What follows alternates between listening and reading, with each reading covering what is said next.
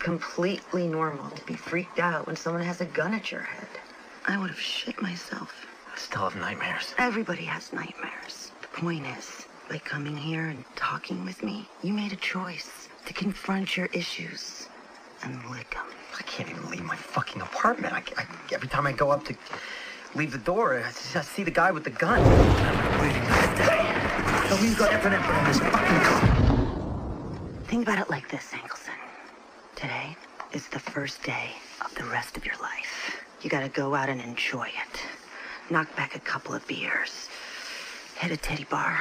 Uh, excuse me? Have some smelly snatch rubbed in your face. You gotta get out there, man. Yeah, I'm gonna do it. I'm gonna go out there and tackle the world. No, don't tackle the world. Tackle a fucking whore. Get your dick Yeah. wet. Dip your wick into life a little bit. Have some fun. Yeah. I'm gonna go out there and I'm gonna floss my teeth with some pubes. Oh, now you're on. Thanks, Doctor. Oh, my pleasure.